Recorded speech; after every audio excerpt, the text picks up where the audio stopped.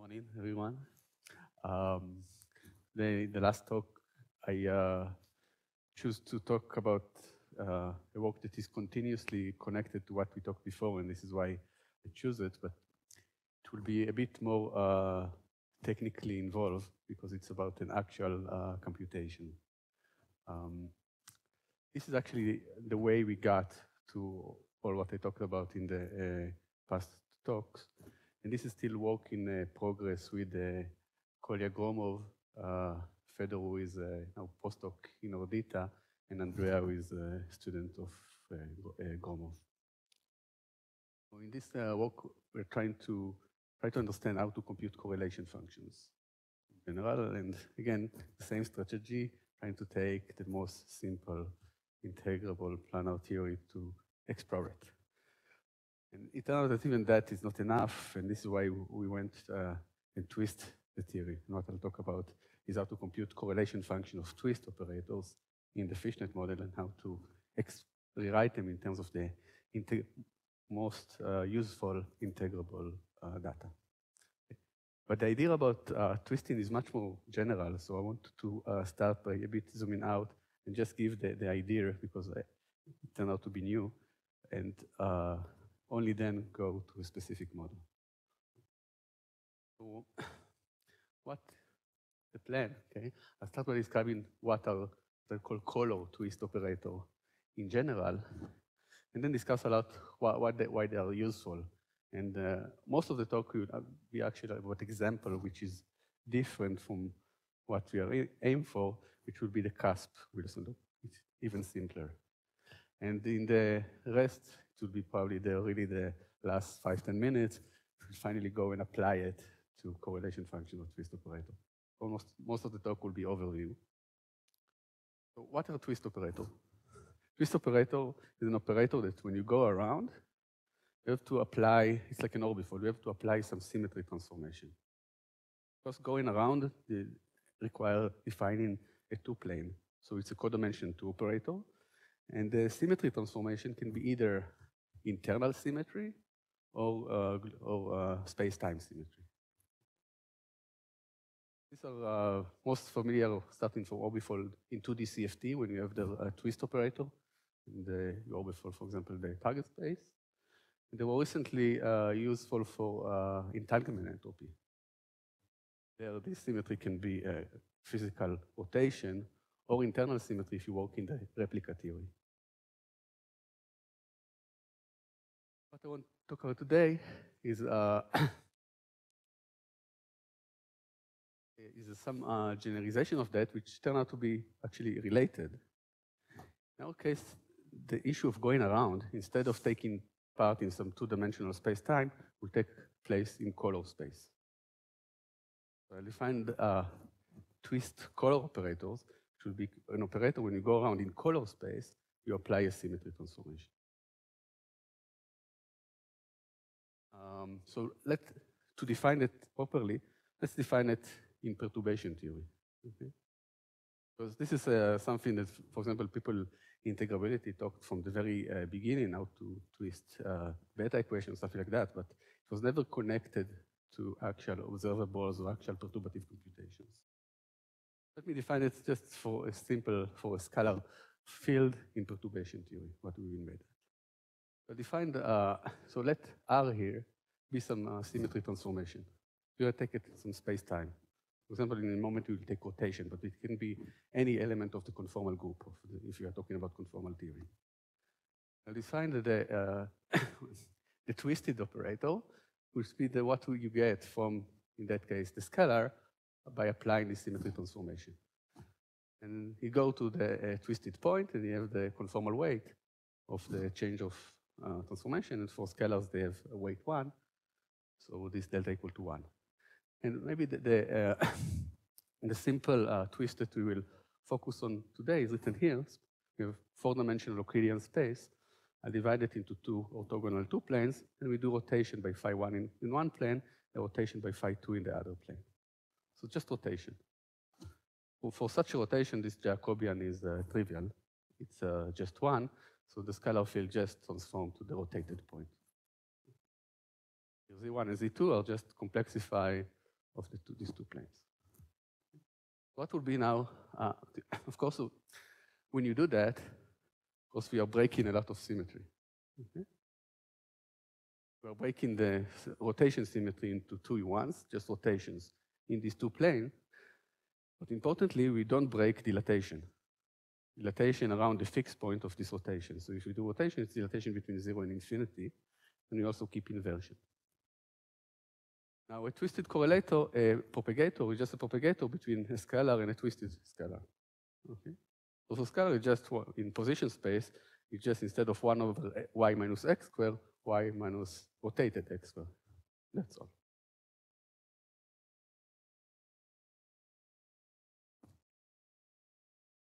I'll think about this as a, as a simplest example. In general, yes, we do have color. Uh, let's think about it now as a charge. So, uh, so in a bit ahead, but if I'm doing a gauge theory, when I'm putting a twist operator, I also have therefore to project only to gauge transformation that go back to themselves only after the twist. Gauge transformation at point x would be not equivalent to the point uh, x plus 2 pi, but 2 pi minus theta. This is just I choose the, the simplest possible example. So I'll, uh, I'll uh, draw in the double line notation this twist propagator. If this is the propagator, this means twisting it. So let's now use this uh, picture to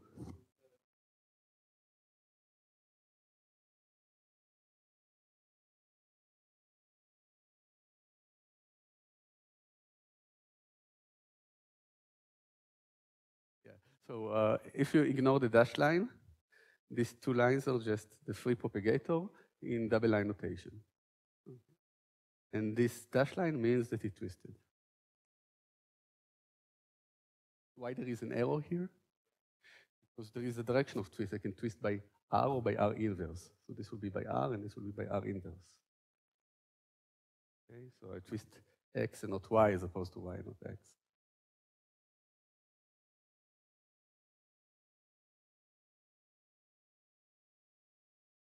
it will maybe more clear when you go to the, to the next picture. Okay? When you connect it to a full diagram. Just by itself, it seems. Uh, so here is, uh, for example, uh, one diagram that contributes in the planar limit to the two-point function of two single trace operators. So think about this as trace phi cube at some point x, and this is the conjugate one at some point one. Let's take this point x and y to be the fixed point of our rotation. We are doing is just one rotation, one will be zero and one will be at infinity. So this is just one diagram that contributes in the planar limit to the two-point function of this two operator written in the double line notation, so it's clear it's topology of a cylinder. Now I want to twist it. I want to take this operator and add to it a twist. The way we do it in perturbation theory is I'm choosing some cut that start on one point on the trace on one operator and then on some other point on another. Now, when it goes from one side to another, it have to cross set of propagators. Description amount, amount to taking any propagator that it cross and replace it by a twisted propagator.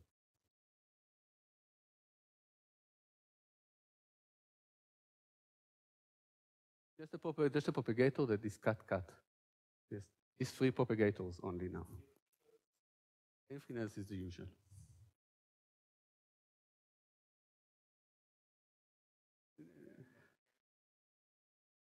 This, uh, I'm trying to give a definition in, uh, starting in a more very practical way of how you compute. And then we will a bit zoom out. I want to explain.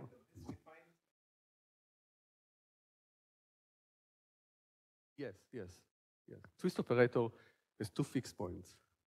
So it's not, it's not really, um, if, if you do this rotation, it's not, it's not like a primary operator. They fill also the other fixed point.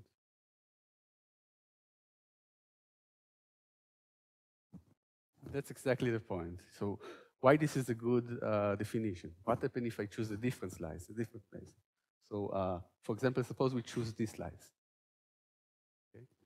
Because we act with a symmetry transformation, twisting these two legs is equivalent with twisting these two. Because if I take a vertex here and I rotate all the legs together, it goes back to itself. So any smooth deformation of this cast will not affect the result. Yes.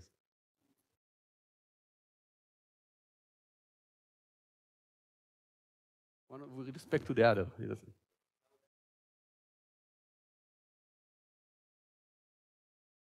Is the meaning of this arrow. Right? We are twisting the point to the left with respect to the point on the right.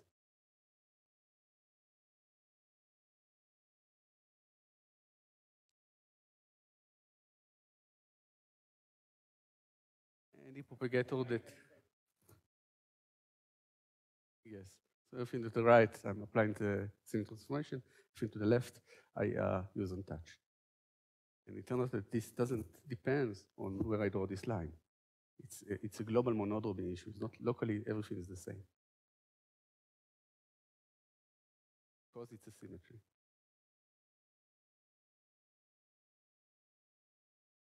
But instead of smoothly deforming the counter, you can do something else. You can let it wrap a few times before going to the other side. Around the cylinder. Going around the cylinder is equivalent to going directly plus going just once around. Going once around, you're just applying the twist transformation to the operator itself. Okay. Now, because this operator uh, is at a fixed point, fixed point doesn't transform, this gives you also projection on states or operators that are invariant under the twist.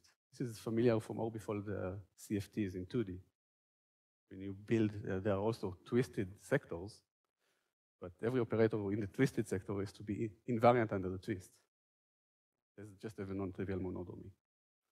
This is exactly the generalization of that, but the 2D here emerged from the 't Hooft uh, planarity and is not the, the space-time. This is what I mean by uh, twist. I'll uh, drive it by uh, now uh, an operator.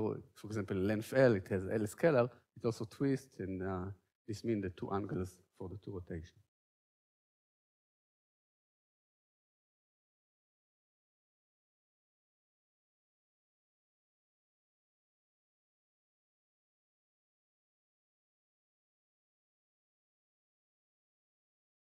Yes, this operator like is taking you to the twisted sector. Twisted sector, on, think about it on the worldsheet in a sense, but it's something that you can do in perturbation theory in the level of a single Feynman diagram.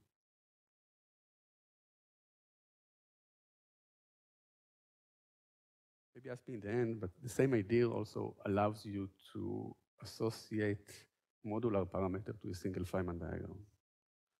But this is take us a bit off.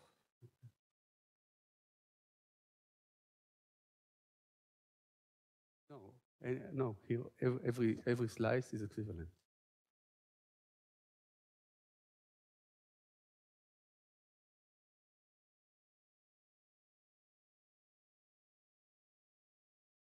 Look at line, and then it will be a two twist operator, not one. That is another operator that I can consider. Yeah. It will it will be equivalent for just taking this angle and multiply them by two.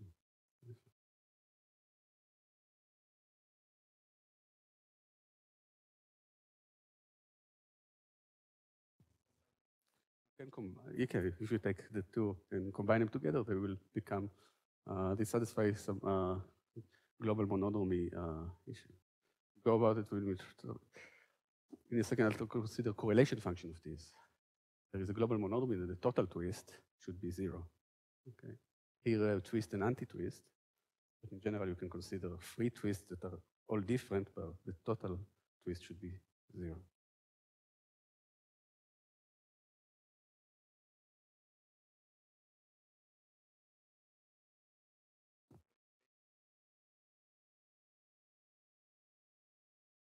No, no. It's going to give me the same because it gives me a projection on the operator. The operator itself should be invariant under the twist. Going around is equivalent to going straight and acting once with the twist on the full operator.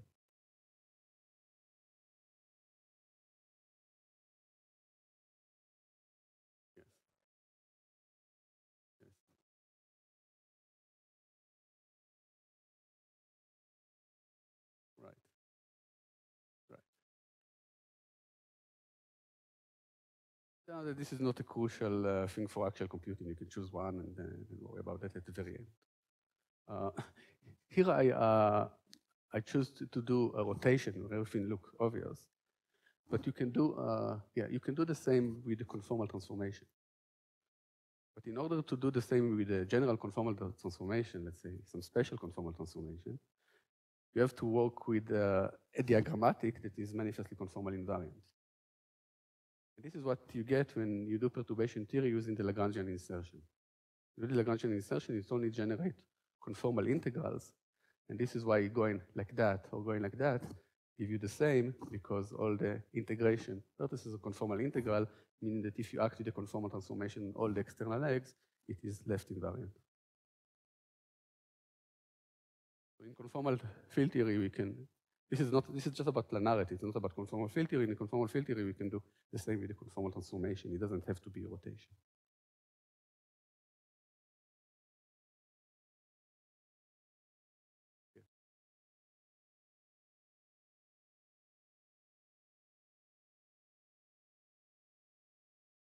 Yeah. But uh, I want something operational. So when you do perturbation theory by construction, all the integrals turn out to be like that. Because sometimes to bring the integrals to this form requires some integration by parts. Do not commute with this operation. Okay. Um, so now consider a conformal field theory. And suppose we start with this twist operator by rotation.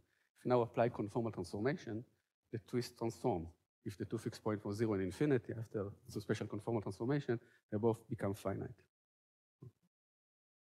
It means, therefore, but recall that the twist operator by itself uh, preserves dilatation. It's still a symmetry. It means that if in the conformal field theory you compute a two-point function of two twisted operators, it just fixed by symmetry to be 1 over the distance time a dimension that now also depends on the twist. Think about them as some generalization of local operators.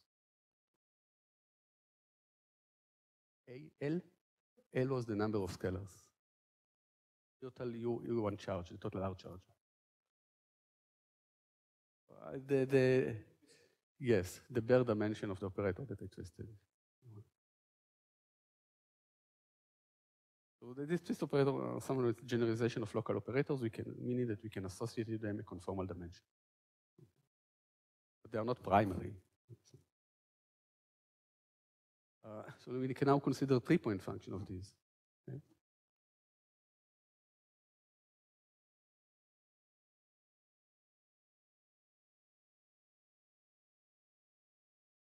You, are breaking, um, you're sensitive to the other fixed point. Primary operator is primary operator that will stay the same if you move the other fixed point of your uh, dilatation operator or not. You have to specify uh, the, the, the symmetry transformation automatically if it's rotation, it has two fixed points.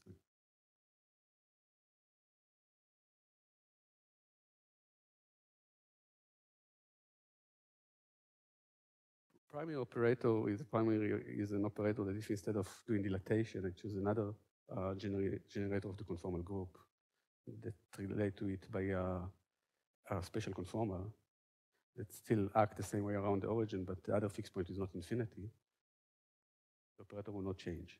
It doesn't say, it's not sensitive to that. This is the, if you want a definition of a primary operator. Yeah, you can think about it as a two-point function. Two-point function of two twist operator. Twist and anti-twist. Um, a bit ignoring this other fixed point because it will turn out that in our, in our model is a pure twist operator. It's something physical, but it will have zero conformal uh, dimension. So one can consider now a three-point function, or you can think about it more as a six-point function if you include this other uh, fixed point of each one of them. And uh, there is a condition, of course, that the total twist is zero.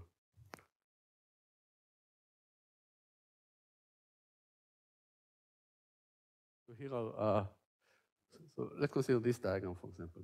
These two lines here means that the twist here is a rotation that take this line to this line.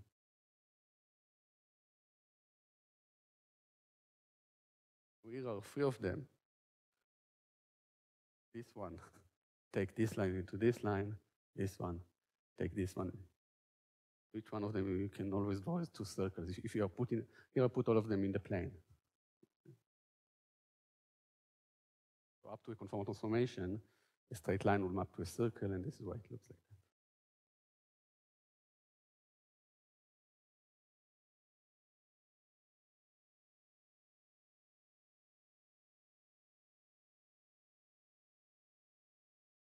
But it will be uh, a, pence,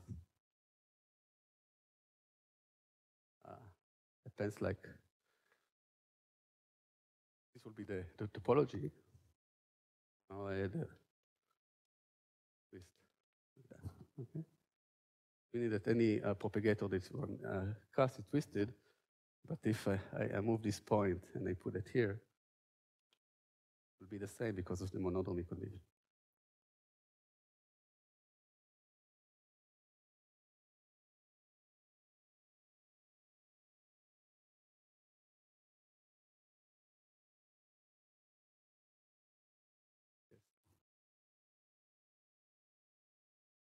They can be uh, arbitrary. So, again, if you are just, uh, if you are not giving me the fixed point, you are just giving me the, uh, the angles, I can tune the other fixed points for any angles, and it will be okay. And, and another way to parameterize is just giving three angles arbitrary. Yes, yeah. But if you fix a, a, a, a, twist operator is not just fixed by the angle. Okay, the angle is conformal invariant. It's also fixed by the, the other fixed point. If you want. Just specify the angles without specifying then it, the, they are completely arbitrary.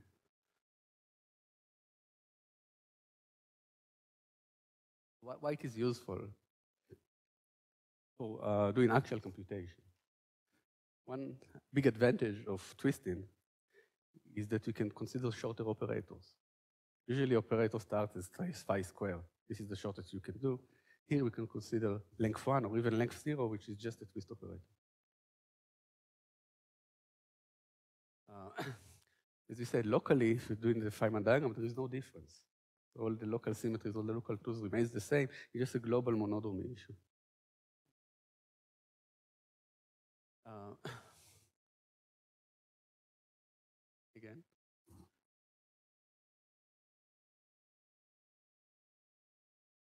Yeah, we will go to there. It was borrowed from here, actually. Exactly. Um, so you say it, it breaks the conformal symmetry because you have to choose the anti-twist operator point. So when you twist operate, uh, you consider twist operators, there is no uh, degeneracy between primary and descendants. They're all treated on equal footing. They all have different dimensions. This turns out to be something actually counterintuitive. It's something useful for integrability. Integrability, it's really hard to deal with this degeneracy. Here, every state is on its uh, equal footing, and you can uh, just discuss it by itself.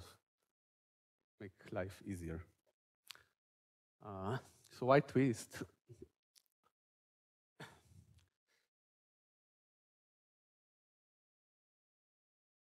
wanted to say what I started by describing general twist operator, for example, the one that arises in the entanglement entropy. This a priori seems different. Here we twist in color space. The question I wanted to, to ask here is, uh, are these related to each other? Suppose I'm considering twist operator without any reference to the planar limit, and then I take in the planar limit. Are these the same thing? We turn out that uh, they are related, but they are not quite the same. Let me uh, maybe uh, give an example that we are familiar with and then make the connection that it's actually the same. Suppose you consider n equal to 4 on a sphere times a circle with a temperature. And the analog of uh, this color twist operator would be the, what we call the Polyakov loop, a Wilson loop that go around the thermal cycle. Think about the thermal cycle as a twist by translation in time. Now suppose you're trying to compute the expectation value of the Polyakov loop. Would you have these diagrams or not? It turns out that it, this depends on the phase of the theory. Okay. The, the theory on S1 times the circle is a dimensionless parameter, which is the ratio between the temperature or inverse temperature and the radius of the free sphere. And depends on this ratio, the theory can be in different phases. And in between them, there is the Hawking-Page transition. The dual description, one is dominated by a large black hole and the other is dominated by a thermal ADS. These are the diagrams that you would do if you do the planar limit of this object in the thermal ADS phase. But ones that I drew. It's actually a, a very nice and non-trivial proof because if you start with thermal propagator and then take the, the planar limit, it's not obvious that you learn on these diagrams, but it is true.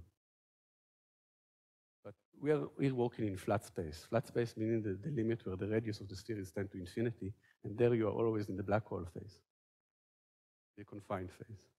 And then these are not the diagrams. In other words, this diagram computes for you the, the planar contribution on the wrong phase. It's like a bit like the Hagedorn transition in string theory. You can compute it exactly in the planar limit, but it's always above the Hawking-Page transition.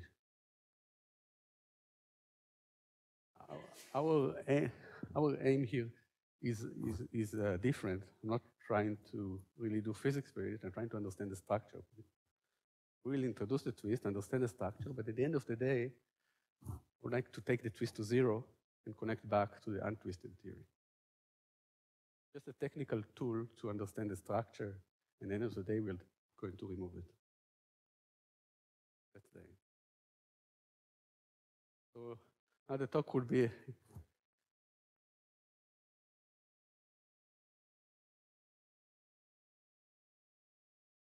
naively, if you start with Feynman diagrams, propagators are thermal propagators. Which means like say, any propagator is like summing over all the images. If you're trying to draw the corresponding diagram, it looks like the string is completely turned apart. But because of the Gauss constraint, it turned out that any loop in this diagram, you actually have to go back to the same copy. It's a non-trivial proof, and you go to this type of diagram. Provided that you are in the thermal ADS phase.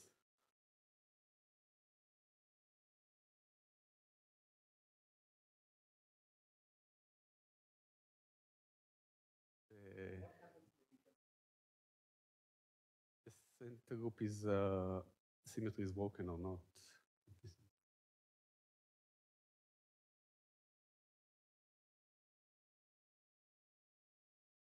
Oh, okay, so now I'm just going to open open a big parenthesis to give a, a lot of background of, how, what we expected how to do with computation with uh, such twist operators. And only in the last minute we'll uh, start to apply them to a correlation function. This is still work in progress. We don't have the general results for how to compute correlation function twist operator. We have some few examples and starting to understand the structure. Got distracted by uh, actually the holographic description that I was uh, talking before and uh, delay a bit this work. Uh, so our aim is to solve n equal to 4. We want to compute correlation functions. Yes.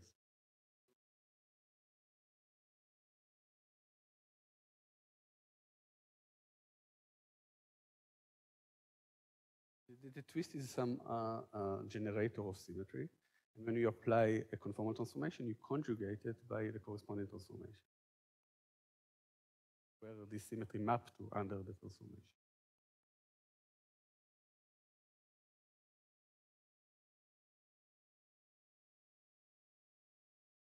In the twisted? No, uh, twist operator, in order to get a non-zero answer, you need both a twist and an anti-twist. Total twist must be zero. The inclusion of the anti-twist pick for you an extra point that break.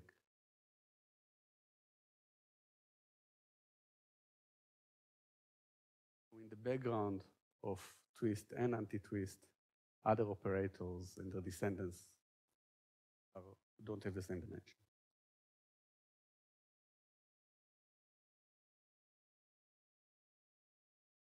A bit. We are interested in computing correlation function in n equal to 4 in the planar limit. The best uh, tool uh, today for computing such a correlation function is called the hexagon decomposition.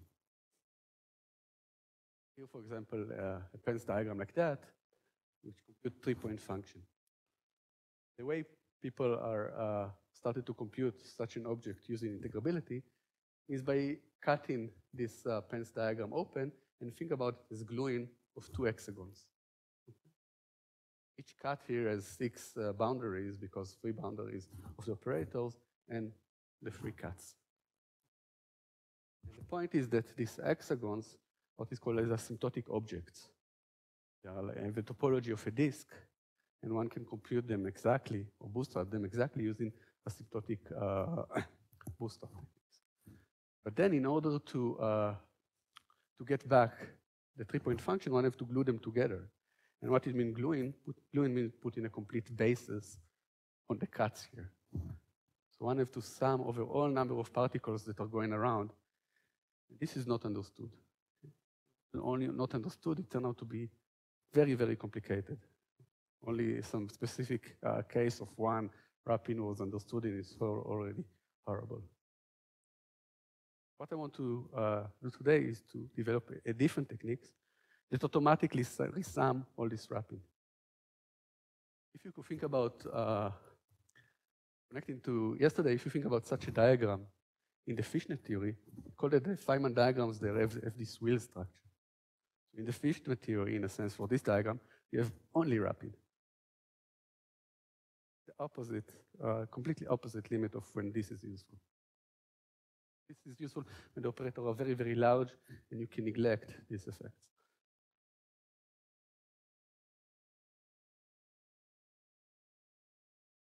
Yes. When are very asymptotic, then you have a, an expansion in E to the minus the, the length, the number of operators, times the, the, the, the, the momentum or the mirror energy of this uh, particle that goes around.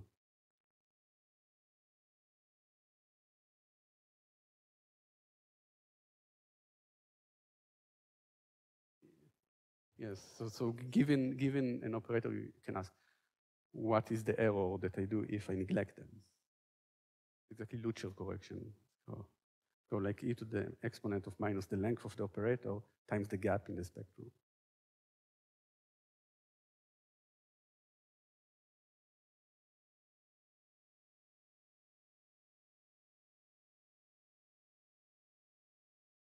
If, the gap goes to zero, for example, this is yeah.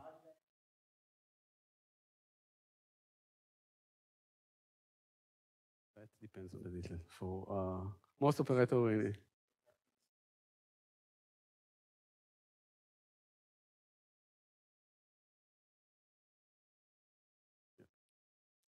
Uh, so let me now uh, zoom out and we'll say, okay, let's, so for now we want to compute this three-point function, correlation function, how it was developed for the spectrum. Spectrum, it started asymptotically, analog of this.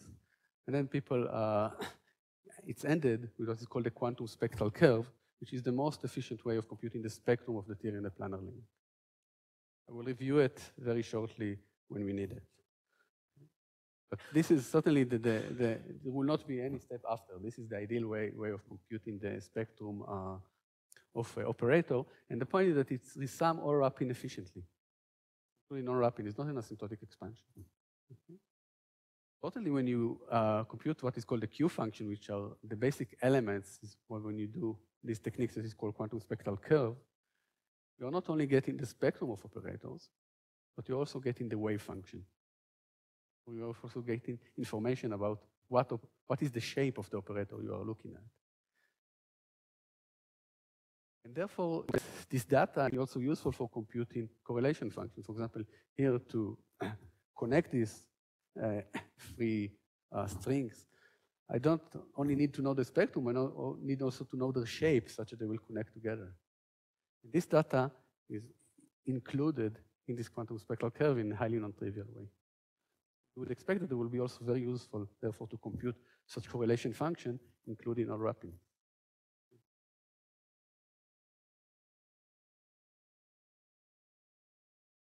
Be one of the main issues today, exactly that, yes. So uh, again, we'll take the same strategy. We try to solve the simplest problem in the simplest limit, understand the structure, and then generalize. Okay. In that case, it will be try to write the three-point function in terms of this Q function, and then go and replace them by the one in n equal to, to 4 and check. And usually n equal to 4 is very friendly, so if you do a reasonable guess, it works. So that's the hope.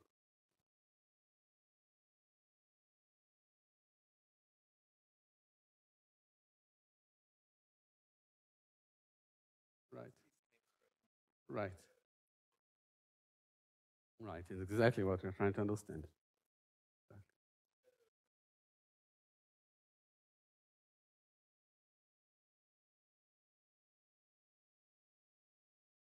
I think you need all information you need in order to compute. But the question, because if I'm giving you in if yeah, if I'm giving you uh, in string theory the three vertex operators, you should be able to compute the three-point function.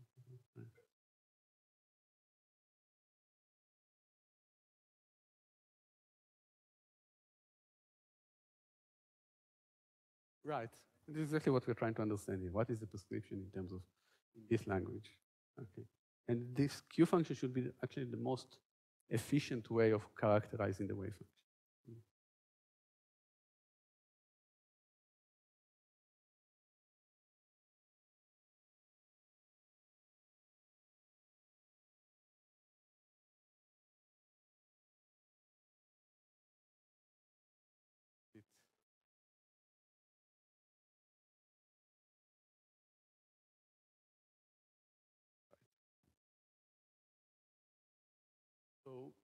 I want now to open a big parenthesis and do the same, but instead with closed string, instead with single trace operator, we're going to do the analogy with cusp-Wilson loop.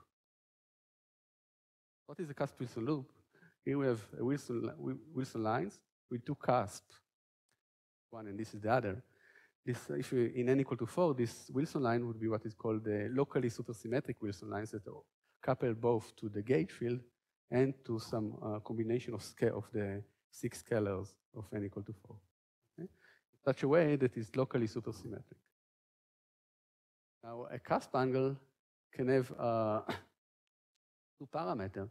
It can have a physical angle where uh, the cusp is going to, and it has an internal angle, which means that this line can couple to one combination of scalars, and this line can couple to another combination of scalars actually have two angles, one physical in position space, one in the scalar space. So again, you should think about this cusp here as a generalization of local operator, because if I'm, suppose I'm putting one cusp at zero, another at infinity, including these two Wilson lines that emerge from it, do not break dilatation symmetry. We can think about it as quantizing the theory on the sphere times time in the presence of quark-antiquark lines. So again, it means that the two-point function of two cusp operators just depends on the, diff on the distance between them. And the power here is what we call the cusp dimension, conformal dimension of the cusp. In general, it's a function of the two angles, the physical angle and the angle in the scalar space, and the 't Hooft coupling. One can even generalize this picture. Think about this picture as a bit the open string analog of the twist we were talking uh, before. We can generalize it by inserting now scalars or other uh, field or an operator in the cusp and describing there is an infinite tower of actually states on the sphere.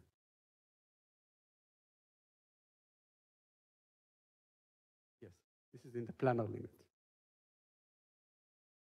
Uh, this work is more general, it's just facts of symmetry. point in this capture, you're not breaking dilatation symmetry, and therefore you can characterize the state by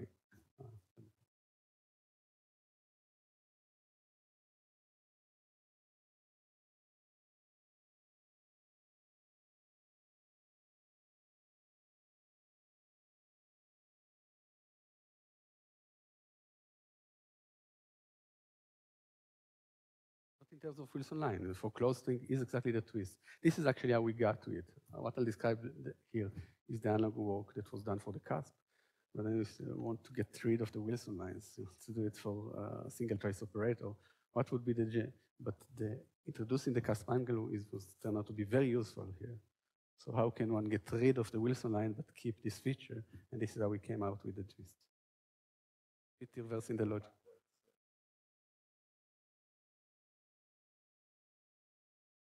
Wilson lines are, are for open string. Wilson lines are boundary conditions. So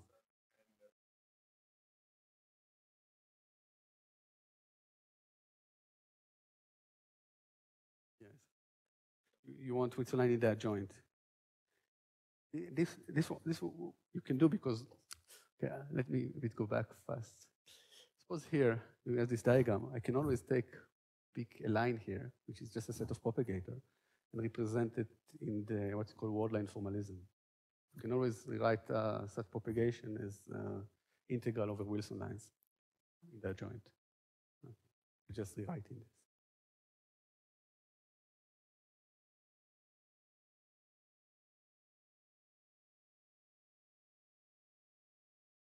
So uh, this was something that uh, I studied a long time ago using integrability in the, these papers, we understood how to compute the dimensions of cusp at finite coupling using integrability. And later, uh, by uh, collaborator, they uh, wrote the quantum spectral curve for that. The generalization of the one for single trace operator automatically computes for you all the spectrum of cusp operators, or the spectrum of n equal to 4 on the three sphere in the presence of quark anti-quark lines. So now when we understand a two-point function, let's consider the three-point function of cusp operators. As before, one will consider three of them. The angles are arbitrary. If I'm uh, continuing these line, two lines here, ignoring the last, they will meet at the third, another point here. And one can normalize by the two-point function. So by conformal symmetry, it's given by the standard uh, dependence on the distances. But here on top, there is what we call a structure constant, but it's really depending on the cusp angles. The cusp angles you can think about also as conformal cross ratios if I draw the other fixed points.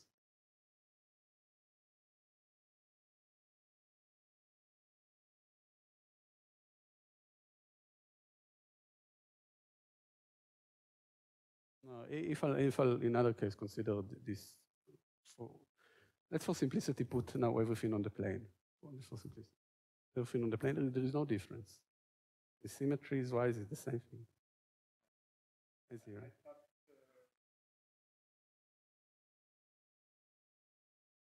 Also here. From symmetry, if I'm taking these two lines and continue them, they will meet here. I'll draw such a picture in a second. Actually, the, the picture I drew before was taken from uh, the one for the cusps.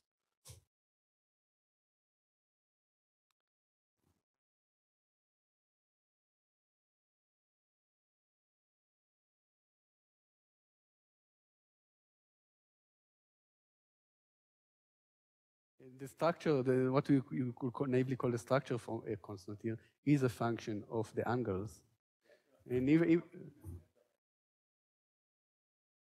the same thing. The symmetry is the same. Only the, the open versus the closed string version, but symmetry-wise is the same. Uh, so this is still uh, very hard to try to compute with finite coupling. But let's now take a simplified limit, which will be the analog of the fishnet limit we discussed before. This is the limit where it's the diagrammatic is dominated by ladder diagrams. And the way to do it is to send the original 't Hooft coupling to zero At the same time, we send the internal twist angle for the scalars to i times infinity. Keeping this uh, combination, same one, same, it's exactly the same limit we talked about yesterday, but the OpenString version. And uh, this we did uh, long ago when considering the, the cusp. And the nice thing about it is that it's projects you only to ladder diagrams, only to, to scalar propagators that propagate from one side to the other. The reason is that anything else would uh, cost g, the 't Hooft coupling, which is going to zero. Yes, I'll make this analogy uh, more precise uh, in a second, yes. But the fishnet limit is nothing but the ladder limit. It's exactly the same. If one, uh, yes, and if uh, one now draws the cusp by adding in scalars, locally we will get the same uh, wheel-type diagram, but it will be now instead of closed, it will be open. So here is uh, this two-point function now in the ladder limit, we only have to resum all ladders, any number of ladders, and uh, lambdas here are cutoffs. We are summing up to some point. You can think about it the analog of the point splitting or uh, describing before. Why this is non-trivial? This is non-trivial because we are in the planar limit. These ladders cannot cross each other because of color ordering. So they are to each other, and this will give you the highly non-trivial structure of this uh, two-point function and the conformal dimension. Now, as it's uh, well known, such a ladder sum satisfies what's called the Bethe-Salpeter equation. If I'm taking this correlator and I'm taking derivative with respect to these lambdas, this lambda was the end of the integration of this uh, propagator. If I'm put, taking a derivative with respect to this point, I'm stretching a propagator here. So this co regulated correlation function satisfies the equation that if you take two derivatives, you get back the same object times the propagator.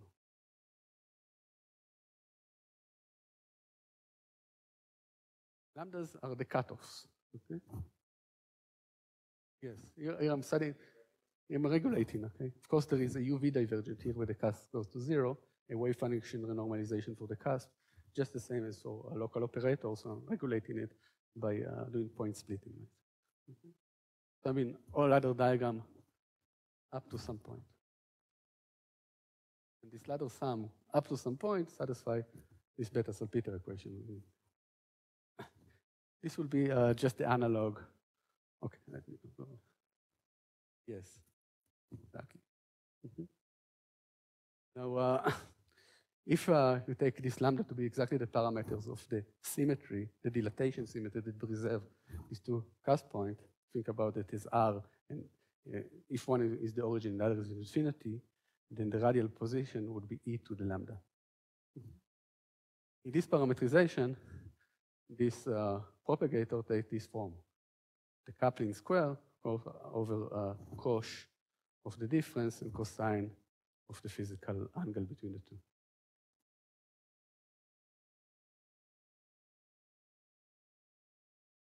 Yeah, this is exactly the boundary, the boundary condition is this that I take in these two cutoffs and take it into the point, then I don't have any diagrams, and therefore the correlator should go to one. So these are these two boundary conditions. If I take in these two cutoffs and colliding them, or taking these two cutoffs and colliding them, then the correlator should go to one.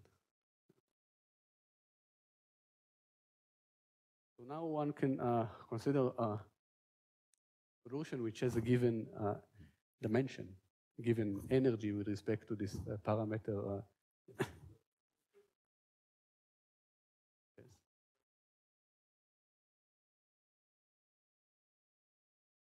Yes, so we draw it here. We are summing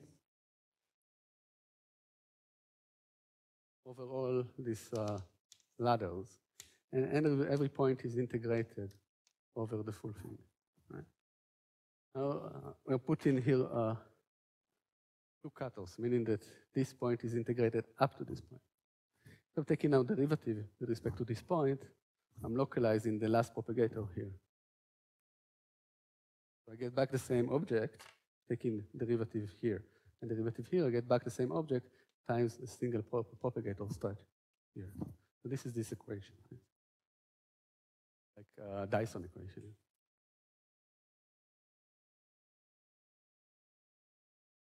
Now, Given that we are looking on uh, a cusp that has a good, well-defined dimension, it means that if I do overall dilatation, if I'm moving these two points together, it goes like e to the delta times the, the sum of the two cutoffs.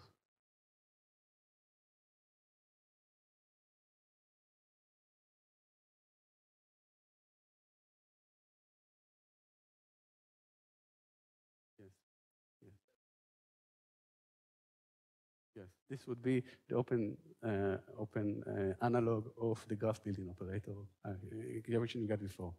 Exactly. Yes. Uh, it's funny because we are completely inverting the logic. This is where it started. Um, so if we are considering a operator with good overall energy, we remain with an equation just for the related distance of the two points. The, the difference of the related uh, distance of these two points is the wave function. This is the information about which states we have. So you probe it. And these wave functions therefore satisfy uh, this Bethe-Salpeter equation become just a Schrodinger equation for the wave function. And the Schrodinger energy is to up to some uh, minus sign square of the conformal dimension. the wave function of the operator that uh, put here some uh, unknown box, how you probe it, it's the dependence of the relative difference between the two. The overall is the dimension.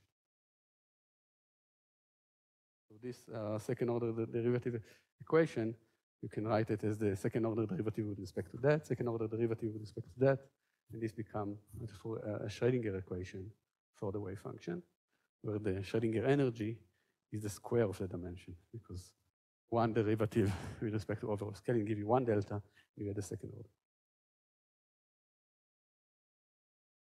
So if you study this, the, these are these are the spectrum of the Schrodinger problem. Okay, here you have some uh, binding potential, like that, and you have some energy levels. So there are infinite many uh, excited states here. Okay, there is the vacuum one, the infinite, because we are putting the theory on a sphere with two lines, it has some discrete spectrum. Yes, one, one, vacuum one is just a cusp. Then we can excite it. Okay? If you want to excite it in, uh, in perturbation theory, you would have to add their fields, F, yeah. But the equation, uh, whatever you add there, after a while, would have just these ladders. So the wave function would satisfy this, and these are the different energies. Actually, your point it was a bit overlooked here because you see that the, the depth of this potential is proportional to the coupling. You would say that at finite coupling, there is at most a finite number of bound states. But it's, it, this is not exactly the problem we are trying to solve. We are trying to solve this problem. And the relation between the Schrodinger energy and the dimension require the square root. Actually, you can show that at any coupling there is an infinite tower.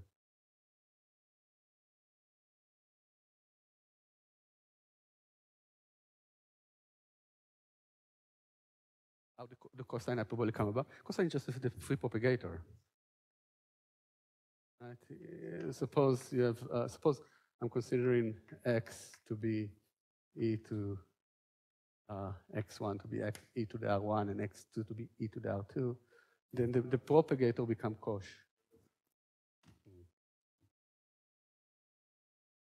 It, uh, remember that the, uh, the propagator has also x dot in the front to make it uh, something that does not depend on your, uh, it absorbs the conformal dimension of, of the propagator.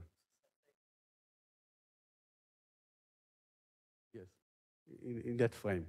But because in the propagator on top we had x dots, you will get this in any frame you work. So this is it's uh,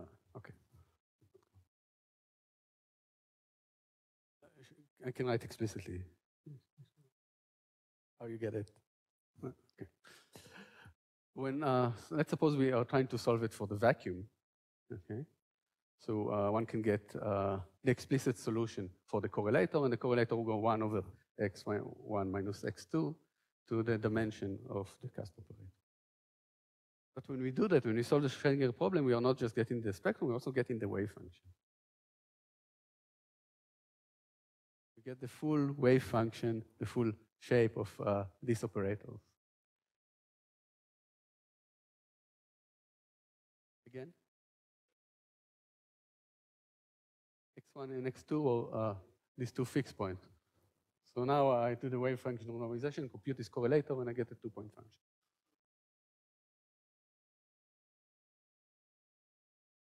Ah, in the dimension, in the energy, right? Here it enter in the potential, right? It was dependent on the angle, okay? And therefore the energies, the spectrum would depend on the angle, non-trivial way. This was the cusp dimension. Ah, here, hidden here. Everything depends on it. Yeah.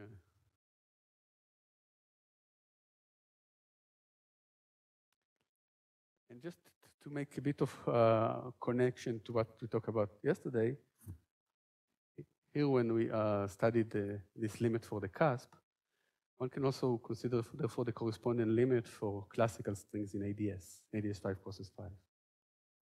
Having a cusp, meaning that you have an open string that ends on the two lines, and having a twist angle on the sphere, meaning that the string also stretch between two points on the sphere that are related by this rotation angle.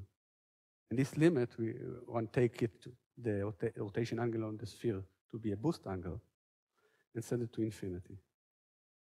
And we didn't have to do any work because in the original work of uh, Juan, when considering the first time the dual of Wilson loop, we considered them already for general angle. We just took the answer and took the limit of the answer, and it matches exactly the results from what you get from this Peter equation. You take here g to infinity, the potential become infin infinitely uh, deep and big, and the energy is just the value in the minimum. And the two match not just qualitatively, not just the power of, of lambda, but also the numbers exactly match. Here, the potential of the Schrödinger problem, you see G stand here, so suppose I'm sending G to infinity, which can become uh, infinite, wide, and big, and the vacuum energy is just the value in the. Some trivial. So now let's, with this uh, knowledge, let's now go and consider three-point function in the ladder limit.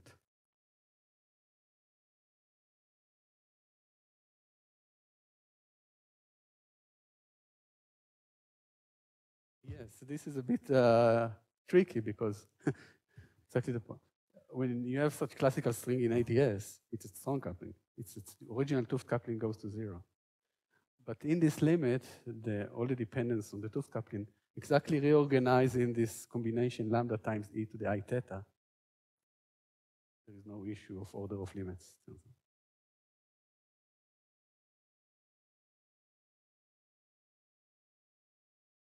So now let's try to use this and go back to the problem of computing correlation function. Now compute correlation function of three cusps in the ladder limit.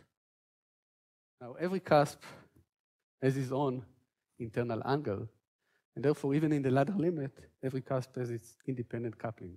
You can take the coupling of the free cusps to be independent. Okay? These ladders are weighted by one coupling, these ladders are weighted by another, and these ladders are, are, weighted by a third coupling. Yes, exactly, different G hats. And if to have something non-trivial, but simpler, look the, the case where g hat of the cusp number three is zero. So there are no ladders here. There are only ladders here and here, and they talk to each other because they cannot cross.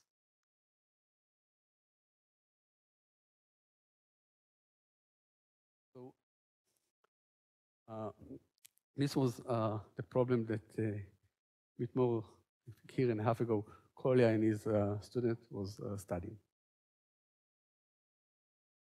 So they, just mentioned about the Schrödinger problem. You get there, uh, Schrödinger problem in general, for general angle, you cannot solve analytically. You don't know how, it's not a solvable problem in that sense. Okay. So the best you can do when computing this uh, three-point function is try to express it in terms of the wave function that are eigenstates of the Schrödinger problem. But not that you can write them explicitly. And this is what they did. And what they found, I don't expect you to uh, follow the detail here. This, we just emphasize how complicated it is. Okay. There is a, a, double integral here, which was the integral over the, this last cusp here, over the, the, two lines.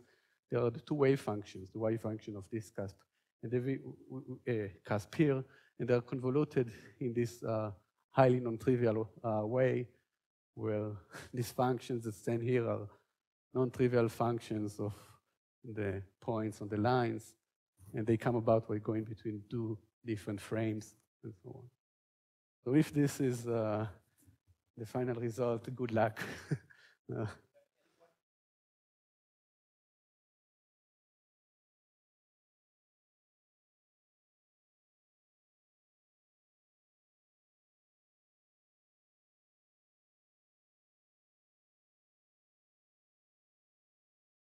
This was, no, the, the original Schrodinger, uh, Schrodinger problem gives you the wave function and the dimensions. Yes. Yes. Yes.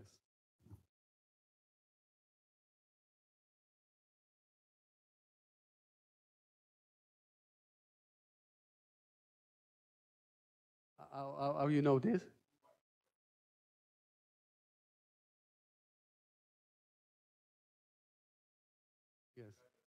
Yes. Right. It's come from, this is a, so th this I can write also as, uh, so this T and S are the natural variables around cusp 1. Okay? But the dependence around cusp 2 is in a different conformal frame. And this T is exactly the transformation between two different frames.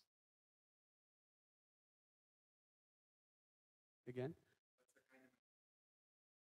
Yeah. No, no. The dependence on the coupling only enter for the details of the wave function and the dimension. All the rest is, is doing this convolution.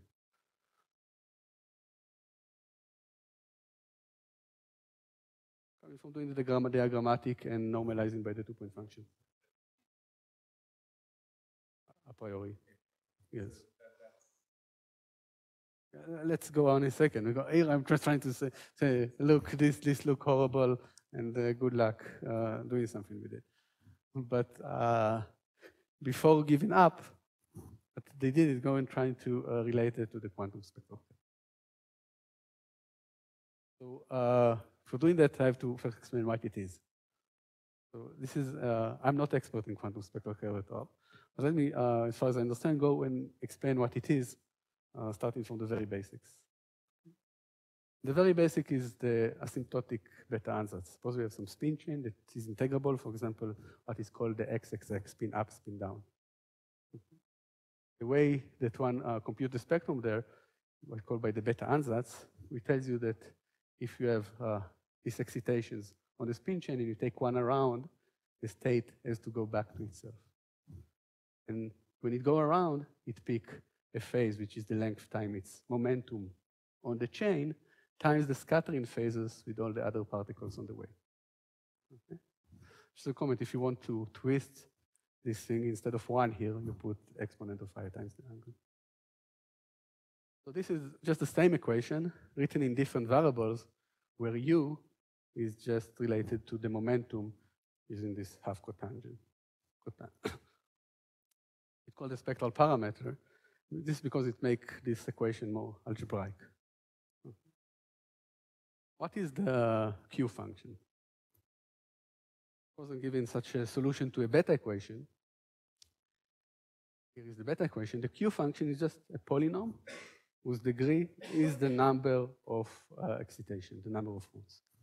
The zeros of this polynomial are the roots of the Bethe equation. Now, this Bethe equation I can now equivalently write in terms of this polynomial.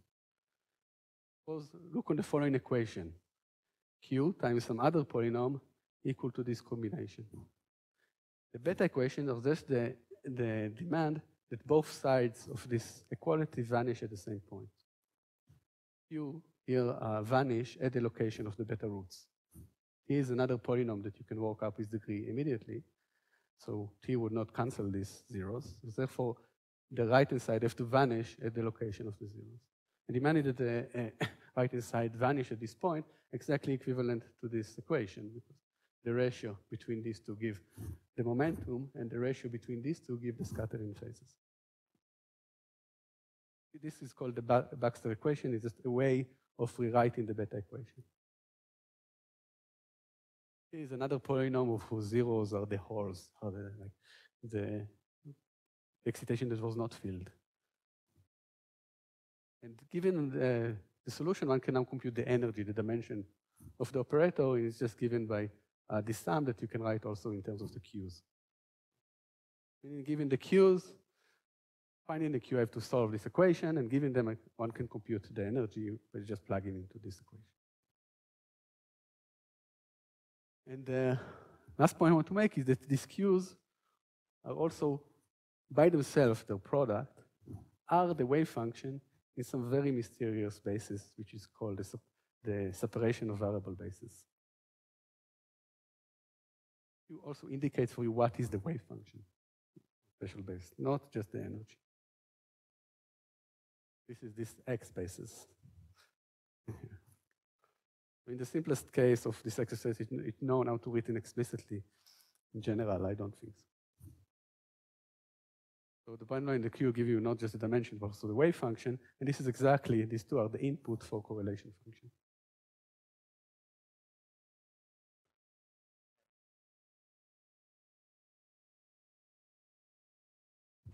Q knows about all the magnons, right?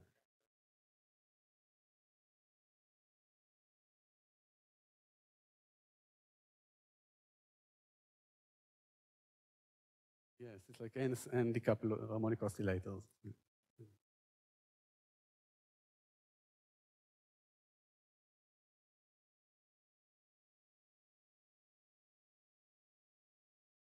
That require no, that, that require a big uh, D2, and I'm even not expert in that. But let's see, let's do this relation very explicit for our problem. Okay can write a relation very explicitly.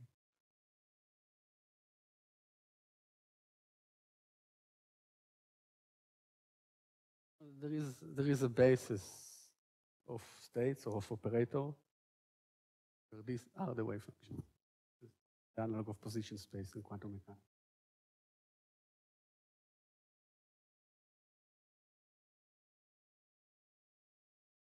Oh, if you plug here the, the roots, yes. But these are different variables. Yes, when x is hit uh, this root, it vanishes. Yes. Zeros. Exactly. Exactly.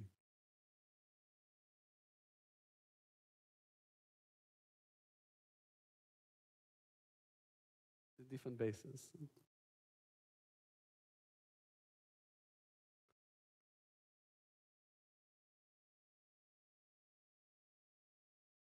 Yes.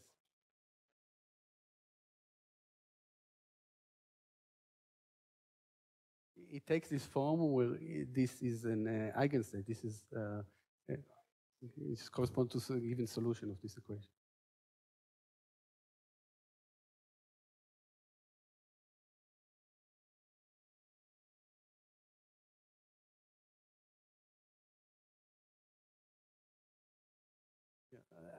What I want to do next is to go to the cusp and do this very explicitly, how to map this Q function to the wave function of the Schrodinger problem.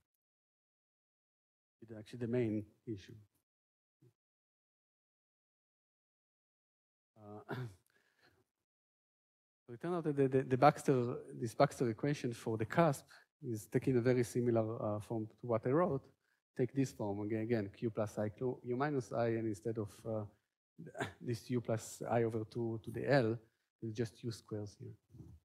This is the analog equation for the cusp in the ladder limit.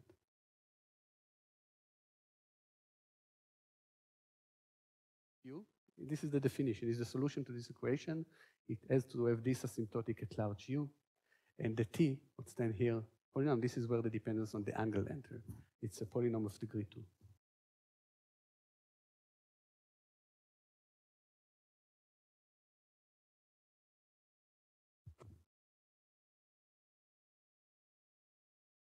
I, don't think this is the way, this is not the way it was uh, uh, derived. I think the way it was derived was starting from the, uh, uh the analog equation for n equal to 4 and then taking this double scaling limit.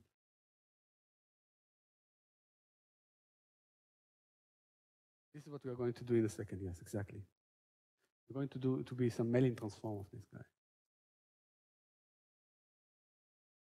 So the same equation for the x-axis, I want just, we, they are known for the cusp, uh, work out in uh, this paper.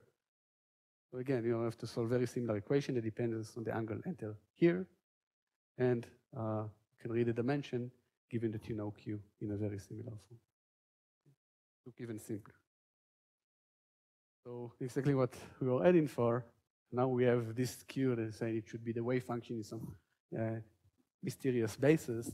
And we have the wave function in the Schrodinger problem. The wave function in the Schrodinger problem was just E the energy times the overall scale here. Think about this size as S and this size as T times the non-trivial wave function that was only dependent on the difference.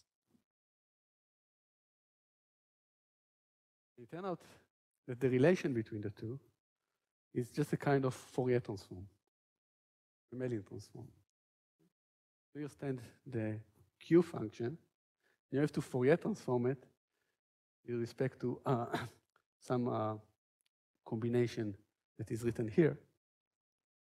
And you get the wave function of the Schrodinger. So what is this combination? So here are the two cusps. And uh, we write here again. Here are the two where the wave function depends on this cutoff, on the difference. It depends on one point we call S here and one point that we call T here. I can always do an overall transformation to put this, to put this S at zero. The overall scale just uh, stand here trivially. then uh, draw this point S at the middle of the circle of the other line. This transformation is just a Fourier transform with respect to the angle of this thing.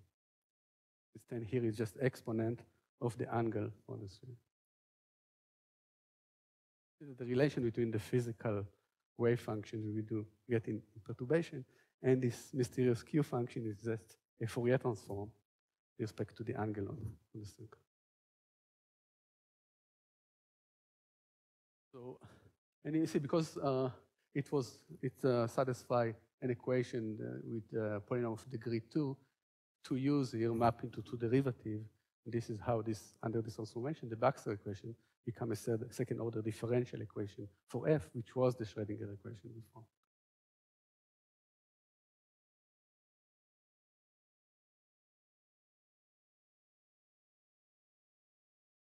I didn't, I didn't derive it. I just explain, explain what, what this equation means. But in order to go, you have to, to go to, into the details.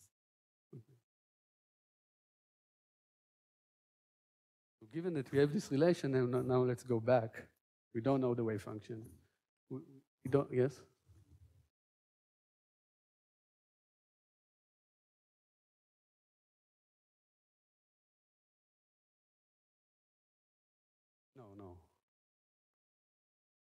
You want to, uh,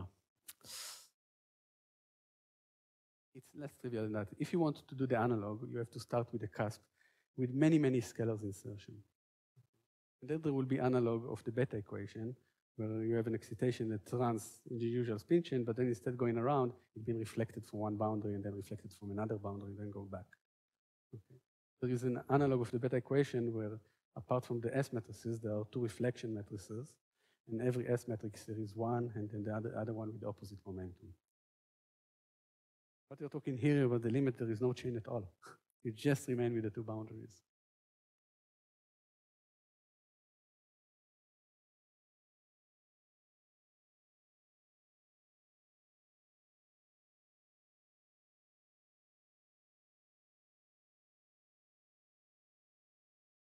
This is the analog this is the analog for this problem. Yes. But they, they are not derived. what I was describing before with the Bethe equation was asymptotic when we start very big, very big uh, length. Here the length is zero. Nice thing about this uh, um, these techniques is that they automatically include overlapping. They validate any length. Kind of one of the most powerful thing about it. So now that we have this explicit map between the two, just a Fourier transform with respect to this angle here, let's go and plug it back into this horrible equation for the three-point function. And when you do so, what they found is could not be any simpler. Found that this three-point function is just given by an overlap of two Q functions divided by their norm. And the measure for overlapping them or for computing the norm is given by this uh, integral. There is a measure in which you can overlap wave function in these spaces. And the three-point function looks as trivial as overlapping two wave functions. I think it can be any, more, any simpler than that. Remember, the, the Schrödinger problem you cannot solve analytically. Also, the Baxter equation you cannot solve analytically. There is a very efficient numerical tool to get arbitrary order. Given that you have it, you can now plug it here and compute the three-point function. What is the lesson we're trying to make? We would like to generalize this. Uh, we would like to generalize this to get rid of the cusps, do it for single trace operators.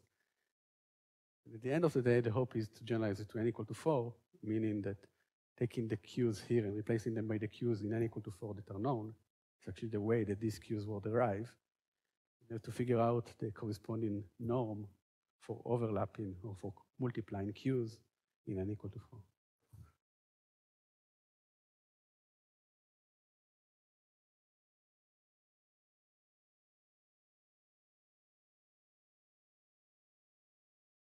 Yeah, the most general one would have also ladders here, and it is not known.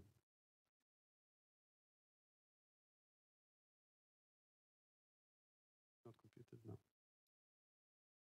Open problem.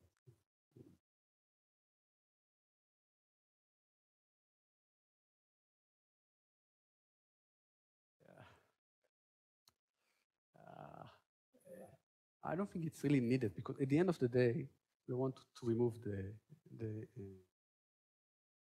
not the Wilson line, also the twist. Yes, we are going there, but in the end of the day, I want to remove these cusp angles. What we are doing now, we're going to replace this cusp by twists. The, the, analog of that would be a bit, um, I'll do one example. The two, two of them would be twisted, and the last one would not be twisted. Not, not the complete analog, but something in between. And this is enough, because at the end of the day, we want to take the twist to zero. But in general, as, as you said, the, the result, here the result uh, depends only on two Q functions, because there are only two non-trivial wave functions. In general, there is also a third non-trivial wave function. They don't know the, even in that case.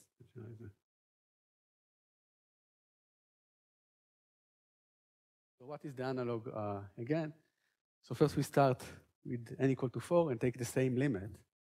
Take uh, g to 0, but now taking the twist that we started with to i infinity. And this, keeping this combination uh, fixed, and this automatically projects through exactly on the wheel diagram that we were talking before. An alternative way of seeing this fishnet model is just a limit of given observables in n equal to 4 the ladder, the analog of the ladder limit for twist operators. In that viewpoint, we are never really deforming the model. We are deforming the observable we are looking at. It is actually a bit more general because here there are only uh, two scalars, but when, when, you view like that, you can consider correlation function where different, different operators are twisted in different uh, planes on the sphere, and you can consider more general uh, correlation function than the one that are, of, uh, this, of this action. Theta here now is the twist on the sphere or the scalar. When you go around the finite diagram, you apply internal rotation. If you have a scalar, it is a charge one.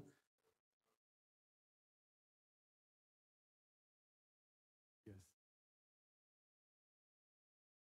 So this is how we got to this system. We were trying to get rid of, of the cusps. So what would be the analog of even a cusp but without the cusp, a Wilson? And uh, this is also, I think, hints or giving you what, how the fish chain I was uh, discussing before will be obtained starting from string dual to n equal to 4. The twist in a string, it's very clear what you have to do is when you go around the string, instead of coming back to the same point, you're coming to the point that is rotated with respect to it.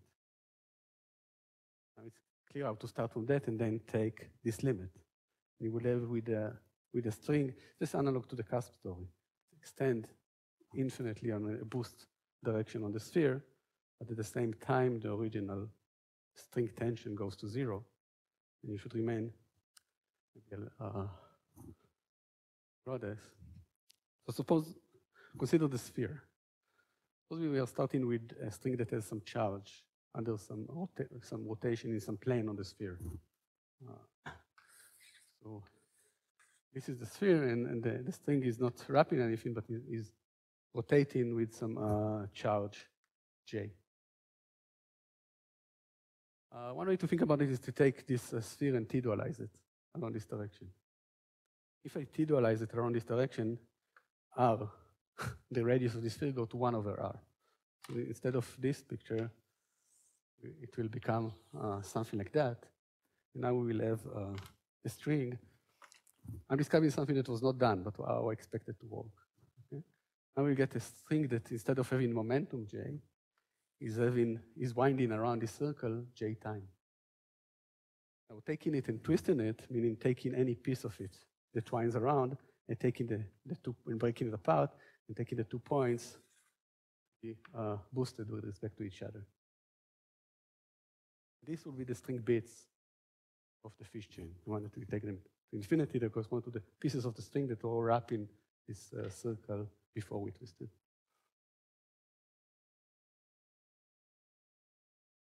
You don't have to t-dualize. This is just making giving you a, a more intuitive. Uh,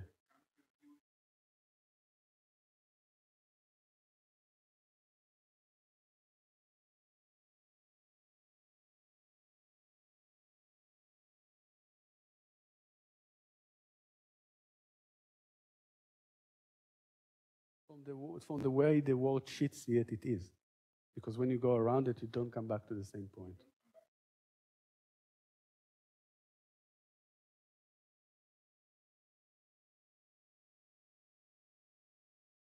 It's complexified now. Right, so it gives you a boost in the in the space.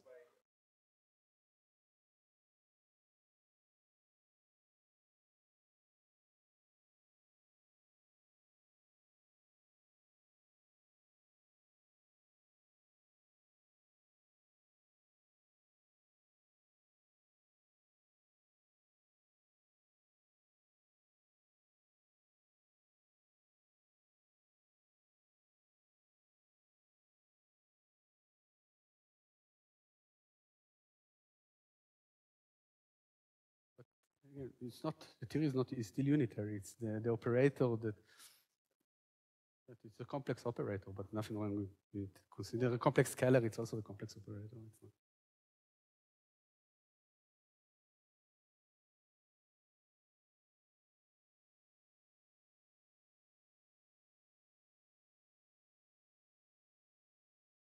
So now let's uh, let's go to the actual computation to the analog of what we did for the cusp. So here I have a twist that's starting, let's say, at zero at an infinity, and for simplicity, consider operator of length one. And again, I put it at some point away from uh, zero as a point splitting, so this is the analog of the g function that we had before for the cusp that was computing. The two-point function, and all the diagrams that one have to uh, resum in this case are given this four scalar interaction times the propagator between this point and the same point twisted, rotated.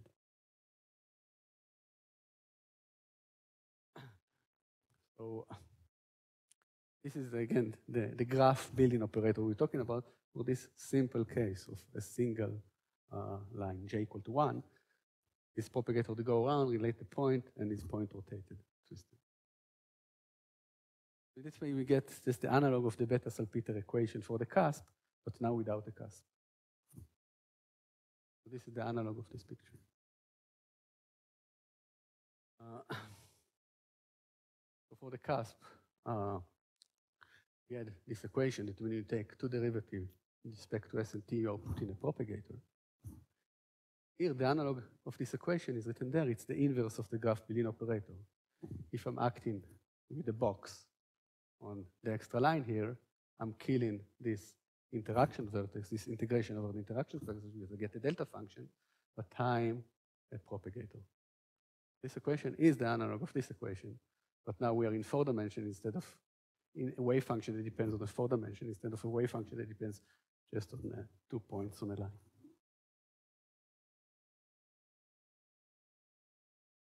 Um, so symmetries. So remember that the, this, if we are rotating by two angles, we are preserving dilatation and rotation in these two angles. We can characterize the wave function by conformal dimensions and two spins. Okay? So just by uh, symmetry, such a wave function would have the pieces that carry these uh, spins, this rotation in these two planes, and the dimension. What is left is just uh, the analog of the cusp, but we left with a wave function that depends on the ratio of the two points. Here we left with a wave function that depends on the ratio of the two radiuses in these two planes.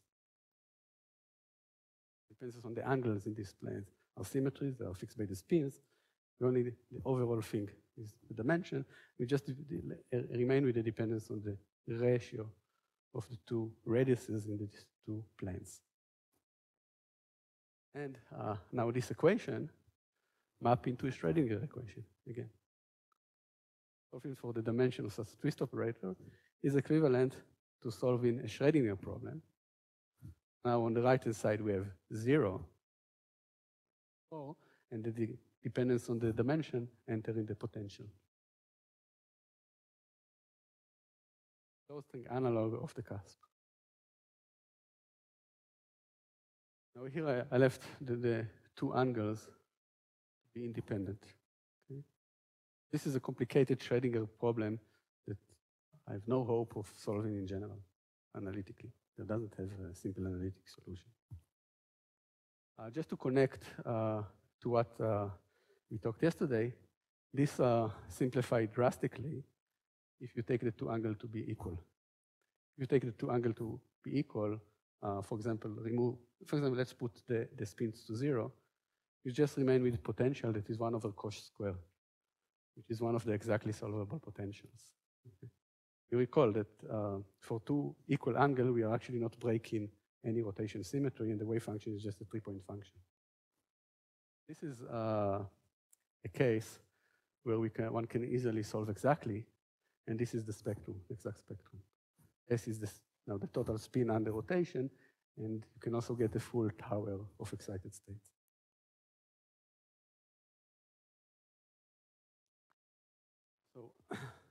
Now let's go and consider, so this, we did the analog for the two-point function, so I'm going to consider three-point function, correlation function of twist operator. For example, one which I want uh, to consider is the true three-point function between two of these twist operators of length one, the one that satisfies this uh, Schrodinger problem, and one untwisted uh, single trace operator for here. For example, making made of uh, such that it can connect to these two. We, the one which I will be interested is taking the, the Lagrangian itself. Lagrangian itself, you can put the kinetic term or the potential terms by the equation of motion, you get the same thing. So you get just the interaction terms of the fishnet model. And here we have to resum all these type of, of graphs in order to compute this uh, 3.5. These are not necessarily heavy.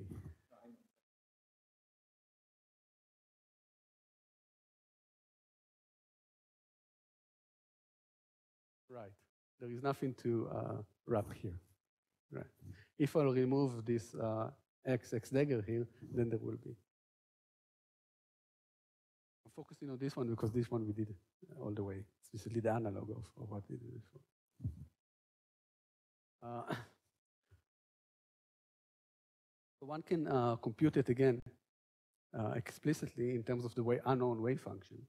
And it's given by uh, this expression. These are the two wave functions.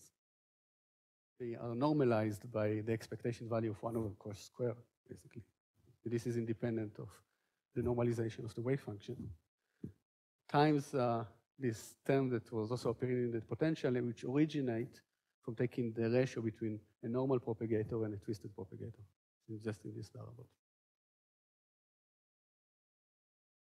And uh, of course, if you take the uh, Lagrangian now and integrate, what you should get up, up to uh, some log of the distance is the derivative of the dimension with respect to the coupling. Given that, one can uh, now get an equation for the derivative of the dimension with respect to the coupling in terms of expectation values in these wave functions of some uh, potentials. This also follows directly from the Schrodinger equation. Now let's do as we did before, try to go and replace the wave function by the Q functions. And the Q function for the uh, twisted uh, model is also, uh, we also know it. It's take a very, again, a very uh, simple form. The only difference from what we there is shift here by 2i, and here it's u times u plus i. Very uh, similar, the dependence on the twist angle, again, enter only through this t, through a polynomial of degree 2, and the asymptotics, again, look analog to exactly what we had before for the cusp.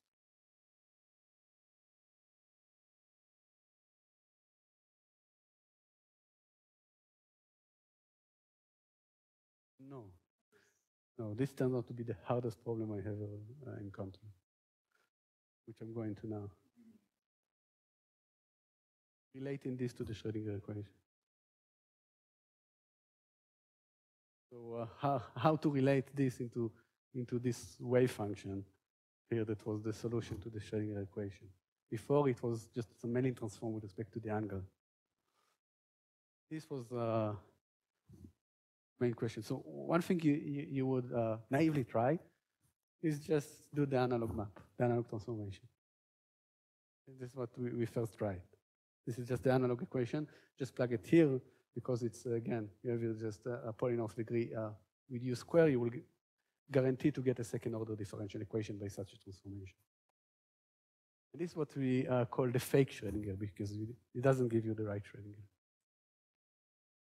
But it gives you something that looks very much similar. For example, the term in the potential that depends on the coupling looks exactly the same. You reproduce it, but not exactly the same thing. Or even in the case where the angles are equal, the only difference between the fake Schrodinger and the real Schrodinger is some uh, simple function of the dimension.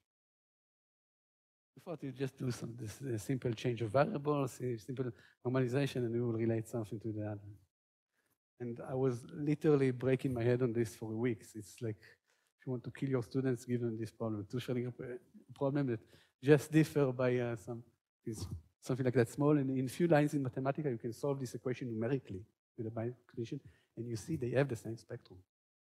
Fake Schrodinger and the real Schrodinger can compute the, the spectrum numerically to high accuracy, and we see they give the same spectrum. So there is no doubt they should be somehow related.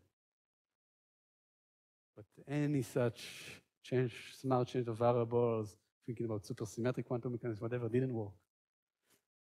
Uh, eventually, it turned out that the relation between the two is slightly more complicated than that. So here V is again just a change of variables, this tangent hyperbolic of sigma. This is not an important point. Important point is that if one wants to uh, relate now the wave function of the fake Schrodinger, is just Fourier transform of the Q function, to the physical one, one has to apply to it a fractional number of derivatives. Fractional number of derivatives mean an integral transform. The two are related by this uh, integral kernel. This is, I think we were stuck on this for uh, months. And once you uh, realize that, then you can go back to the correlation function and plug back the Q function, and you get a similar expression for the, uh, the one with the, the uh, Lagrangian So this is where we are studying now. We are starting to compute other more complicated uh, correlation function, and the aim is to rewrite them in terms of uh, the Q function. This was a huge, uh, almost gave up. Um, so just a summary, uh, planar twist operator or generalization of local operators, you can consider them in any planar theory, not just conformal or uh, integrable. Uh, the spectrum of uh, correlation function can be computed efficiently using the Q function that automatically resum all wrapping. In the cases we discussed, they were only wrapping.